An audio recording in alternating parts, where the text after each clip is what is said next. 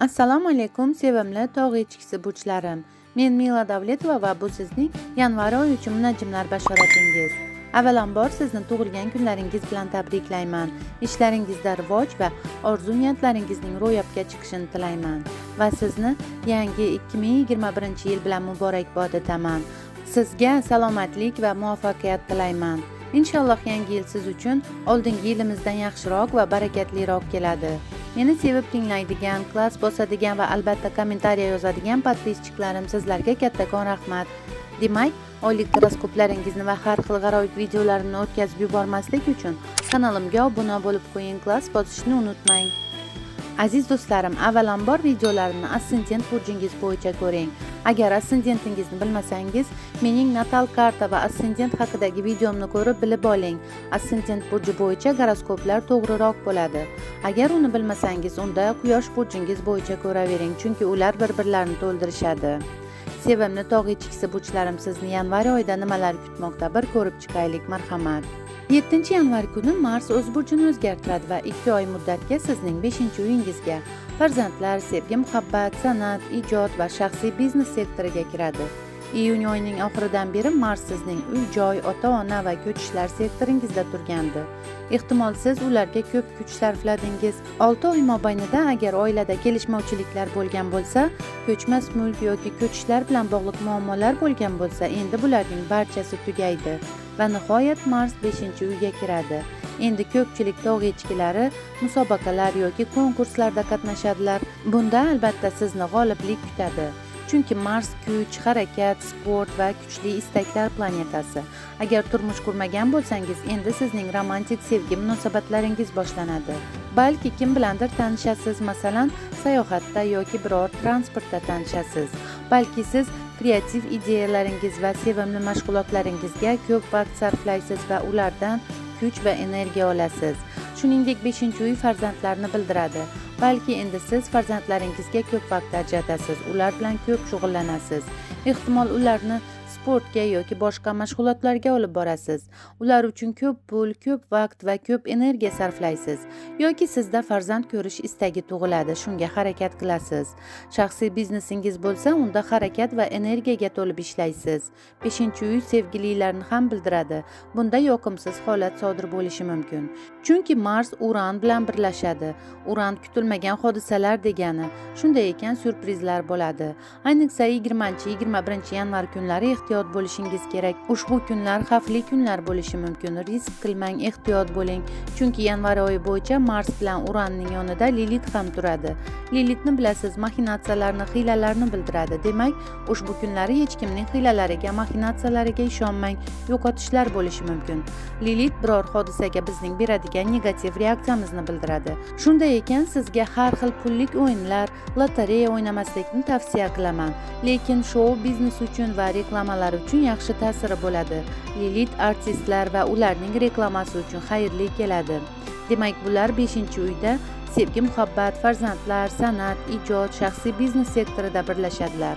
Shunday ekan ushbu kunlar atrofida shular bilan bog'liq syurpriz bo'lishi yoki kutilmagan hodisalar ro'y berishi mumkin. Bu balki kiber ataka bo'lishi mumkin chunki uran internet bo'lsa lilit hiylalar va mars atakadir.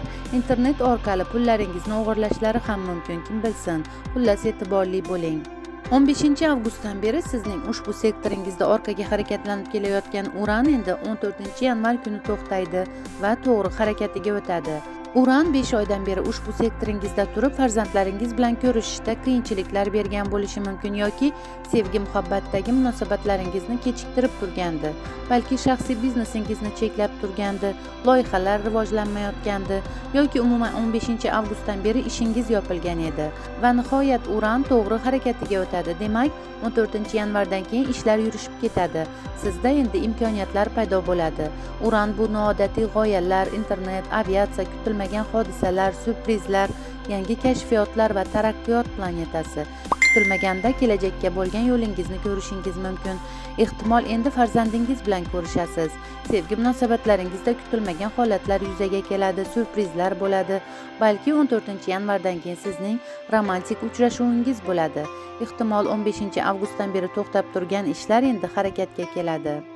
To'qqizinchi yanvarda merkuriy sizning ikkinchi uyingizga daromad manbai mablag'lar daromadlar va qadr qimmat sektoriga o'tadi. Aslida bu yil siz uchun judayam barakatli boylikni va'da qiluvchi va sog'lomlikni olib keladi. Chunki sizning ushbu sektoringizda yupiter va saturn ham butun yil bo'yi turishadi. Bu haqda 2021 yilning barcha burchlari uchun munajjimlar bashorati videomda aytib o'tganman. Hali ko'rmaganlar o'sha asosiy videomni ko'ring. Chunki ushbu yil ikkinchi sektor siz uchun eng muhim sektor bo'ladi. Shuning uchun uning beradigan imkoniyatlardan foydalanib qoling.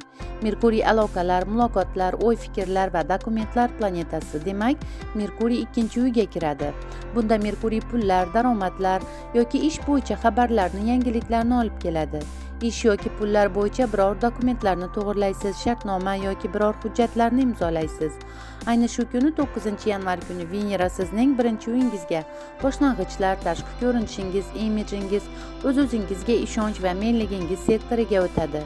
Venera doim sevgini go'zallikni pullarni va yoqimli xabarlarni olib keladi. Ushbu davrda siz gullab yashnaysiz o'zingizdan nurlar taratasiz. Atrofdagilar sizga e'tibor qilishadi va siz xohlagan insonni ko'ndirishingiz mumkin bo'ladi va mashhur bo'lishingiz ham mumkin. Venera sizga yangi munosabatlarni yangi sevgi muhabbatni ham olib kelishi mumkin. Chunki siz bunda shirinligingiz bilan hammaga yoqasiz. Shuningdek sizga moddiy foyda daromadlar va sovg'alar kelishi mumkin yoki pul haqida chiroyli xabar keladi. Balki tashqi ko'rinishingiz yoki jismoniy tanangiz bilan shug'ullanishni boshlaysiz. Bilmayman spa salonga borasiz yoki sport bilan shug'ullanasiz yoki imijingizni o'zgartirasiz va siz pullarni va sevgini o'zingizga tortasiz. 13 yanvar kuni yana ushbu birinchi uyingiz boshlang'ichlar sektorida yangi oy chiqadi. Yangi oy sizning burjingiz tog' echkisi burjida chiqadi. Quyosh va oy birlashadi va yangi oy yangi energiya tug'iladi. Bunda sizga biror g'oyalar keladi yangiliklar boshlang'ichlar bo'ladi. Bu xuddi sizga shlagbaum ko'tariladi degani. Bunda yangi bir sikl boshlanadi hayotingizda. Chunki tog' echkisi burjida yangi oy chiqishi bir yilda bir marta yuzaga keladigan hodisadir. Nimanidir boshlamoqchi bo'lsangiz ilk qadamlarni tashlashingiz mumkin. Yaxshisi 15 dan keyin boshlaganingiz ma'qulroq chunki o'sha kuni boshlangan ishlar xayrli bo'ladi. Ushbu yangi oy kimlarga kuchliroq ta'sir qiladi? Agar sizning tug'ilgan kuningiz 12 13 14 15 yanvarda bo'lsa siz o'zingizda yil bo'yi yangi boshlang'ichlar oqimini his qilasiz. Chunki bu sizning shaxsiy yangi yilingiz bo'ladi. Shuningdek agar sizning assendentingiz 22 23 24 25 gradus tog' ichkisi bo'lsa unda sizga ushbu yangi oy bir oy mobaynida ta'sir qiladi. Umuman olganda barcha tog' echkilariga katta ta'siri bo'ladi. Siz biror g'oyalaringizni rivojlantirishni boshlaysiz. Ayniqsa ushbu kunlarda sizga belgilar keladi. Balki bashoratli tushlar ko'rasiz. Xullas ularga e'tibor bering. Bu menligingiz sektori. Men qaror qildim deysiz. Balki jufti halolingiz bilan tanishuv bo'ladi. Farzand ko'rishga qaror qilasiz yoki shaxsiy biznesingizni ochishga qaror qilasiz. Balki hozir faqat biror g'oyalar keladi. Yigirmanchi yanvar kuni quyosh sizning ikkinchi uyingizga daromad manbai mablag'lar daromadlar va qadr qimmat sektoriga kiradi va ushbu mavzular bo'yicha ishingizdagi vaziyatni oydinlashtiradi. Yupiter saturn merkuriy va endi quyosh ham to'rtalovi daromadlar sektoringizda turadi. Quyosh o'z nurlari bilan sizning daromadlaringizni yoritadi jonlantiradi. Ish bo'yicha agar suhbatga kirsangiz sizni ishga olishlari mumkin qimmatbaho xaridlar qilishingiz mumkin balki yangi ish bo'yicha g'oyalar keladi. Quyosh jonliligimizdir tanu jonning sog'ligidir. Yigirmanchi yanvardan keyin salomatlik uchun yaxshi payt bo'ladi. Ehtimol siz ovqatlanish rejimingizni o'zgartirishga qaror qilasiz. Sog'lom ovqatlanishni istab qolasiz. Shuningdek quyosh bizga hurmat qilishimiz kerak bo'lgan insonni bildiradi va o'sha odam bilan uchrashuv bo'ladi. Yigirma sakkizinchi yanvar kuni sizning sakkizinchi uyingizda. Kreditlar qarzlar turmush o'rtog'ingizning pullari davlat tomonidan beriladigan pullar va sevgi munosabatlari sektorida to'lin yuzaga keladi. Ushbu oy siz uchun pullik oy ko'rinadi. To'g'ri saturn sizning burjingizda paytida ko'pchilik qiynaldi. Qiyin davrni boshingizdan o'tkazdingiz bilaman. Endi bularning mukofotini falakning sovg'alarini olishning vaqti keldi tog' echkilarim belingizni mahkam bog'lab yeng shimarib ishga kirishing. To'linoyda doim vaziyat oydinlashadi kulminatsiya bo'ladi va oxirgi nuqta qo'yiladi. Bu o'zingiz ishlab topgan pullar emas o'zgalardan keladigan pullar bilan bog'liq bo'ladi. Bu xuddi moliyaviy sovg'a yoki moliyaviy yordam bo'ladi sizga. Chunki to'linoyda ishning tugallanishi bo'ladi. Bu soliqlar to'lovlar sug'urtalar va davlatning bankning pullari kredit va ipotekalar bo'lishi mumkin. Balki aliment stipendiyalar turmush o'rtog'ingizning pullari yoki merosingiz keladi.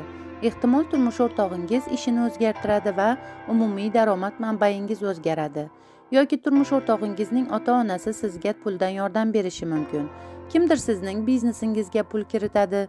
Sakkizinchi uy ruhiy kechinmalar uyidir. Bunda biror krizislar ruhiy siqilishlar bo'lishi yoki aksincha quvonchli va his tuyg'uga boy bo'lishi ham mumkin. To'linoy doim juda his tuyg'uli kechadi. Shuningdek yaqin sevgi munosabatlari ham bo'lishi mumkin.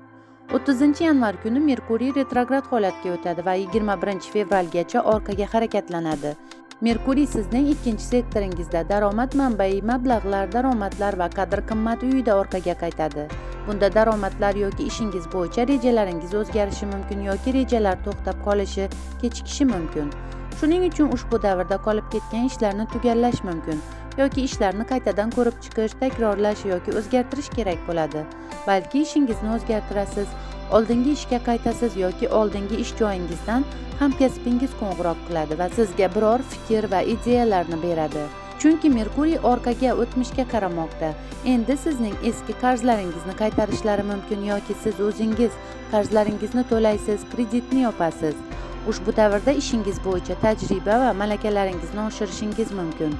Nimalar qilish mumkin emas? Retro merkuriyda muhim hujjatlarni shartnoma va bitimlarni imzolash mumkin emas. Qimmatbaho xaridlar qilmang. Masalan uy joy yoki avtomobil sotib olmang. Texnika jihozlarini kompyuter telefon yoki elektronik uy jihozlarini sotib olmang yoki cheklarini saqlab qo'ying. Chunki keyin pushaymon bo'lishingiz mumkin va uni qaytarib topshirishingiz yoki o'zgartirishingiz mumkin bo'lsin. Shuningdek operatsiyalar qildirmang. Lekin agar shoshilinch operatsiya bo'lsa majbur qildirish mumkin. Go'zal ayollarimiz ayniqsa plastik operatsiyalarni qildirmang chunki natijasi sizga yoqmaydi. Keyin takrorlashga to'g'ri keladi ehtiyot bo'ling. Mana shunda yanvar bo'lishi kutilmoqda aziz tog' echkisi burchlarim. Sizni yana bir bora yangi yilingiz va tug'ilgan kunlaringiz bilan tabriklayman. Omad va baxt sizga yor bo'lsin ko'rishguncha.